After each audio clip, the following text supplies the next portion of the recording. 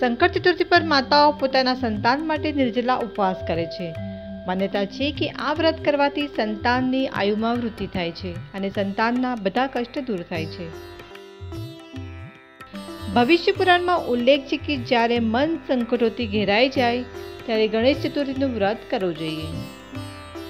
આ વ્રત કરવાથી ધર્મ, અર્થ, મોક્ષ, વિદ્યા, ધન અને આરોગ્યની પ્રાપ્તિ થાય છે. ગણેશજીને પ્રસન્ન કરવા પૂજા દરમિયાન સતત ઓમ ગણેશાય નમઃ અથવા ઓમ ગણ ગણપતે નમઃનો નિરંતર જાપ કરવો જોઈએ. સંકટ ચતુર્થી પર સંકટ મોચનનો પાઠ કરવો શુભ ફળદાયક રહે છે. ભગવાન ગણેશને પ્રસન્ન કરવા માટે તેમના બાર નામ સુમુખ, એકદંત, કપિલ, ગજકર્ણક, લંબોદર, વિકટ, વિઘ્નનાશક, વિનાયક, ધૂમ્રકેતુ ગણાધ્યક્ષ ભાલચંદ્રનો જાપ કરો. ભગવાન ગણેશને દુર્વા અતિ પ્રિય છે.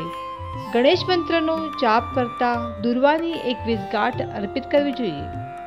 ગણેશજીને ભોગમાં મોદક અથવા બુંદીનો લાડુ અર્પિત કરો.